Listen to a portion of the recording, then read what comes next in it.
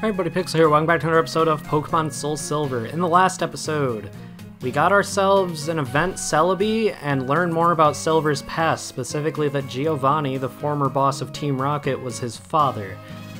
It was never directly stated, but it is directly stated in the aftergame of Pokemon Fire Red and Leaf Green. This time, there's another event legendary, and this episode may very well be less than 10 minutes, but I don't care. Want to talk to this green guy. Good evening. I've received a gift for you. Here you go. Ashley received an Arceus. We look forward to your next visit. Arceus. This Pokemon is absurd. you get this from a Toys R Us event that has been discontinued since 2009. And yeah, look at those stats. This guy is the god of all Pokemon just in canon. That's just true to the game's world. Unfortunately, meaning Mew was kind of replaced. This specific Arceus has Roar of Time, Spatial Rend, and Shadow Force, which are the signature moves of Dialga, Palkia, and Giratina, respectively. Um, and that's really good. It also has Judgment, its signature type of move. You can find elemental plate items throughout the world. I'm not sure if that's in this game or just in Diamond Pearl Platinum, but I think it's in these ones as well. When you find those plates, you can give them to Arceus and it will change its type as well as the type of Judgment.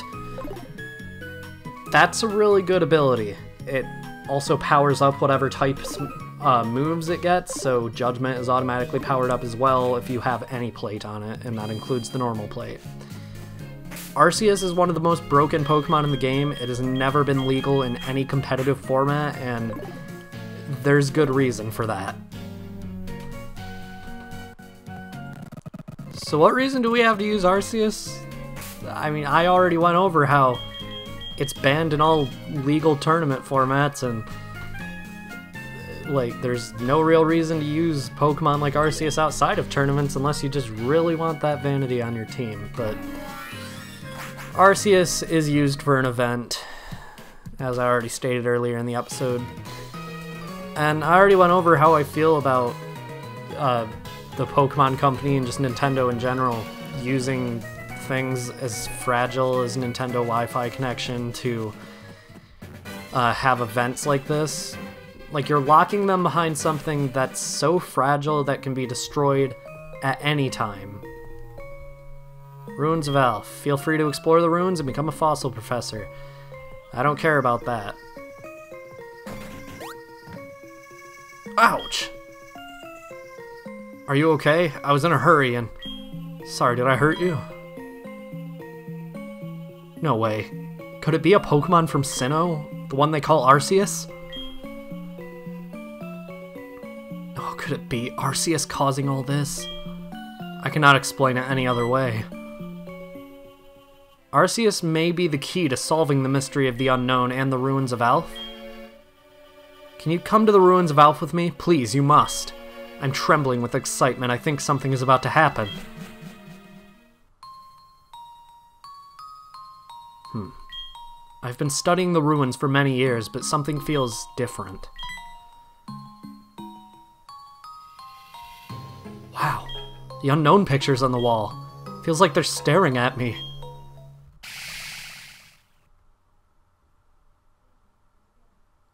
What is this? There's something eerie that's making my legs shiver. I can't stop them.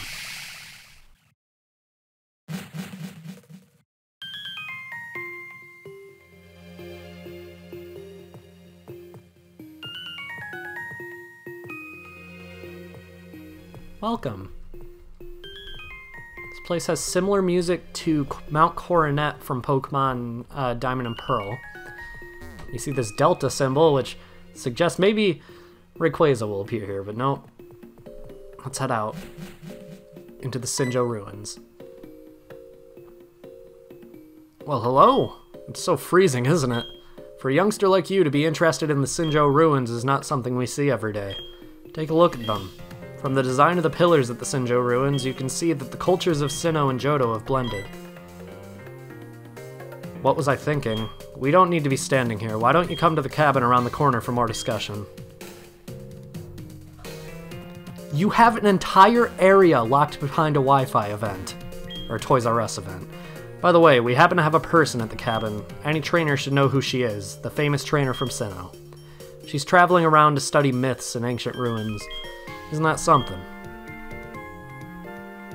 It sure is.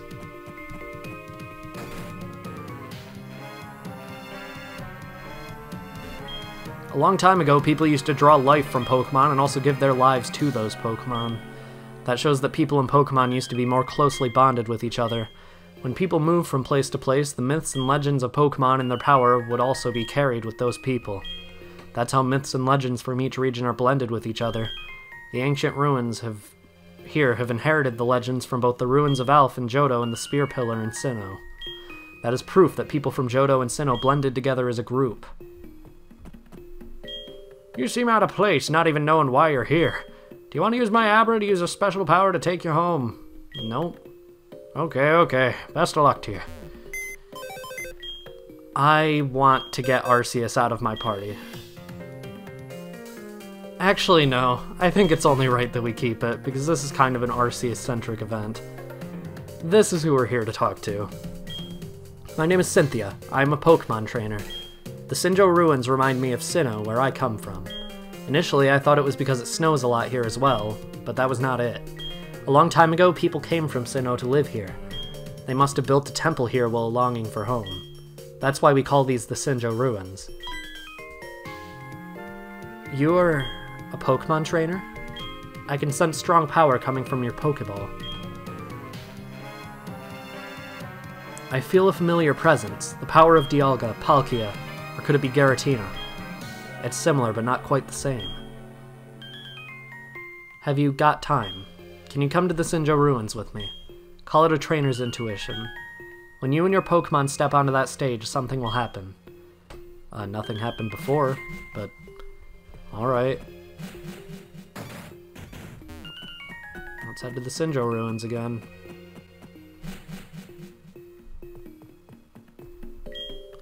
This is the Mystery Stage, the mythical stage built to show respect for Arceus. It is said that people used to celebrate its magnificent might with music and dance. Some people in Johto still pass down this tradition. The Mystery Stage allows a single Arceus and nothing else to get on the stage. If you wish to go up there, you have to deposit your other Pokemon in the PC box of the cabin. Oh my god. Pass down. According to ancient document, time, space, and antimatter, or what combined we call this world, shall be born when Arceus stands on the mystery stage. This is where one might say the lead enters the mystery stage at last. All my study of ruins and Pokemon mythology in Sinnoh may have been to bring you up on this stage here today.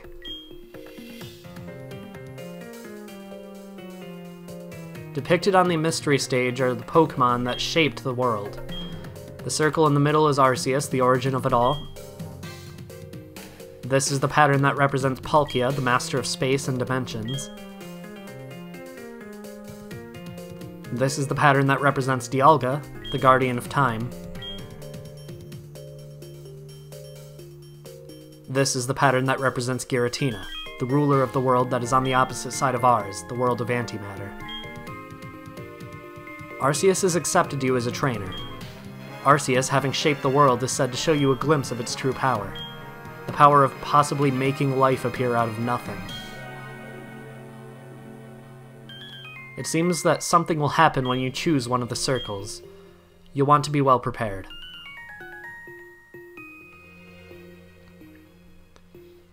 I thought about this for a little bit before recording.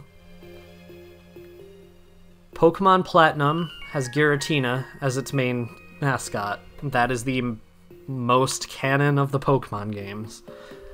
Pokemon Pearl has Palkia, and Pokemon Diamond has Dialga. And Pokemon Diamond was the first Pokemon game I ever beat on my own. So I'm going with Dialga. So you choose Dialga, the Guardian of Time? Yes.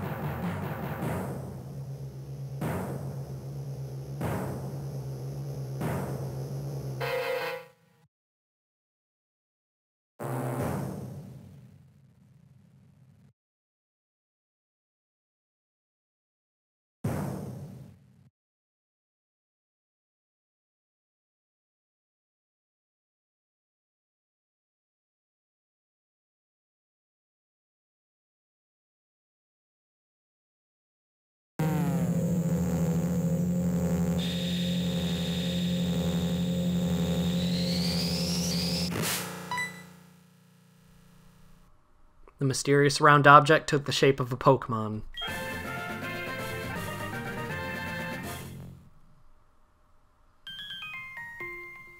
Nope. That shining sphere. Could it be an egg? Did we just witness the very moment an egg was brought into this world? A moment no one has ever seen? An egg is the cradle of every being. This planet itself is an egg in a sense. Life that comes from an egg will come to an end in due course, to begin anew. That may be what Arceus wanted to show us.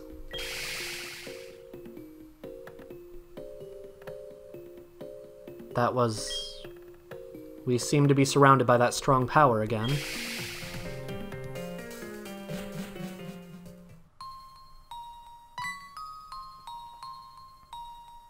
Oh, are you alright? You disappeared right in front of me. I was so surprised. I see. The power of Arceus and Unown un affected each other to create a huge energy which sent you to the Sinjoh ruins? Unown, the ruins of Alph and Arceus. The mystery deepens. It has made me even more inquisitive. I will one day solve all the mysteries. And that's it.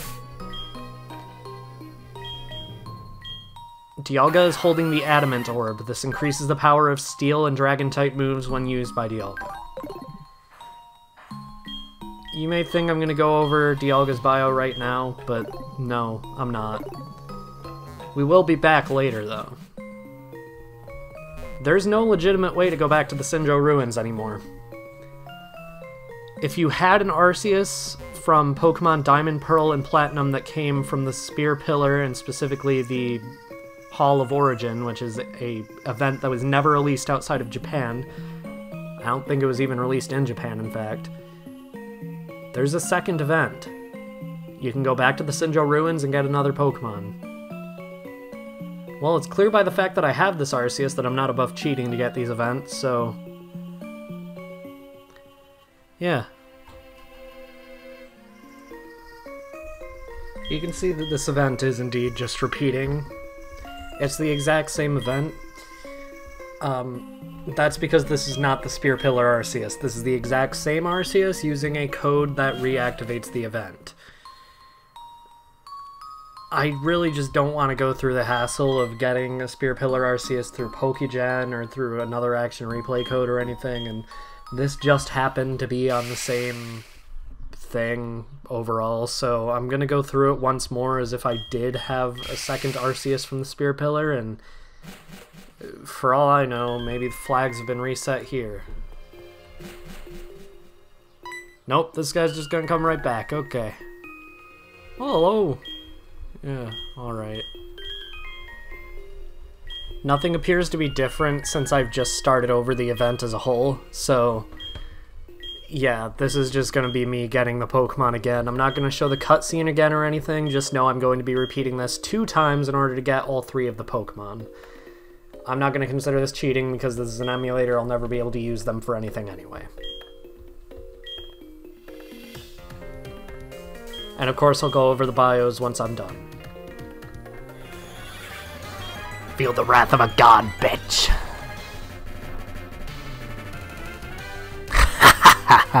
feel the wrath of an actual fucking god. How does that feel, you Unown motherfucker, you disappointment of a fucking legendary Pokemon?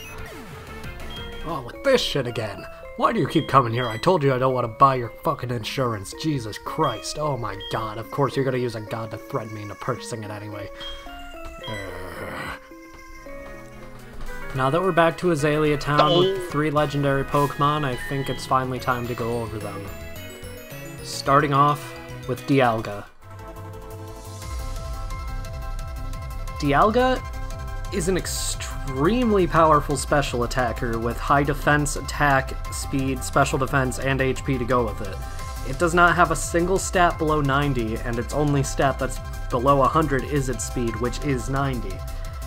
With a base total of 680, it's definitely one of the better base totals in the entire game maybe after Mewtwo, Rayquaza, a few other Pokemon, obviously, whatever. Dialga is a Steel Dragon type, which is an exceptional defensive type. I, I mean, it resists fire, which is the most major weakness Steel has. Obviously, it still has that weakness to uh, ground type moves, but there's not much you can really do about that. It's just kind of a fact of life when it comes to Steel types that they will most of the time be affected very strongly by ground type moves. If you plan on using Dialga, its signature move, Roar of Time, is essentially a Dragon type Hyper Beam. It's extremely powerful, but it has to recharge after use and it only has 5 PP. It's very good. It's not really outclassed by anything else, it's in a class of its own, honestly. So, yeah, if you're looking for a Dragon type, you happen to be able to get this event, and you want a Pokemon like Dialga, then by all means, it's not in any way a bad choice. Next up, we have Palkia, not Giratina, sorry. Palkia. This is one I know significantly less about. However, it looks to have very similar stats to Dialga. Instead of having a... Wow, okay, I guess the only difference really is speed and HP are switched, because uh, it only has 90 HP but 100 speed. I'd assume because of that 150 in special attack, it's a special sweeper. But that's all I can really tell you about Palkia. I really know nothing about it. If you do want to know more about Palkia, uh, I'll leave a link in the description to the video in Chuggaconroy's Pokemon Platinum Let's Play where he catches it because he goes into significant detail in all of his bios. Lastly, Giratina. This one is a little weird. It has 150 in HP, making it one of the better HP tanks in the game. But HP is the only thing it excels at. The same with how Dialga and Palkia both excel in special attack, Giratina excels in HP. It's a little weird. I can't really say I'm a fan. However, when you give Giratina a certain item, one that it came with in fact, an item called the Griseous Orb,